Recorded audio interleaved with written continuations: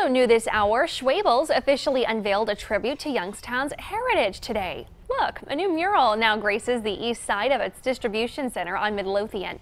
It's right across from its headquarters. The mural was designed and painted by YSU art majors and grad students. It highlights the history of Youngstown's skyline. We're going to take a quick break. Mr. Food is next here on First News at noon.